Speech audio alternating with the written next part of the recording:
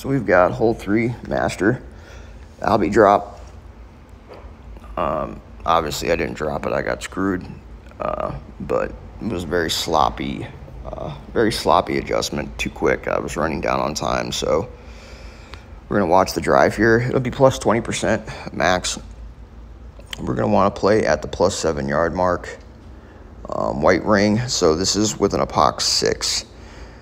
So I'm pulling back and then I'm pushing over. And I did too much topspin here. I would suggest maybe going six topspin. Um, if you want to play a little bit more daring, uh, then go six and a half. And then we're going to go two right spin. Now we're adjusting, like I said, plus 20% max. Pull over the bullseye. I think that came to exactly 10 rings. Here, I did too much curl or too much OP. So do a little bit less OP with that little bit of curl.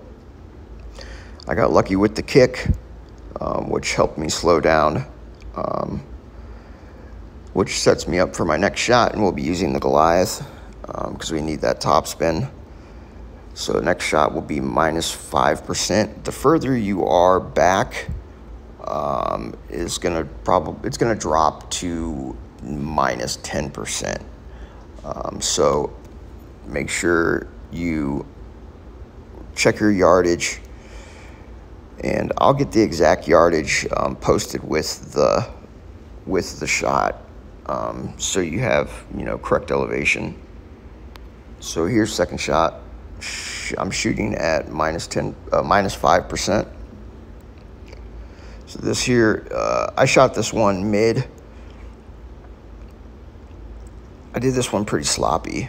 Um, I just was really slow on both shots and was running low on time. So if I would have been a little bit more focused, I probably would have been all right.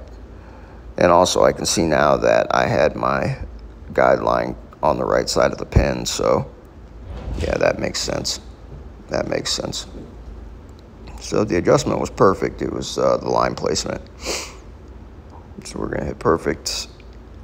Nice rollout.